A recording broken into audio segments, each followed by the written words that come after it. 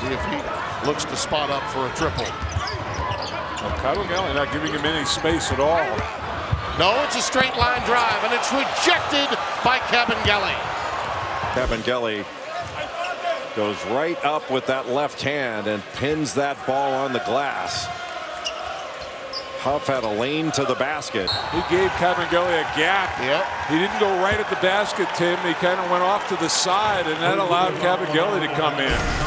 What a terrific defensive play.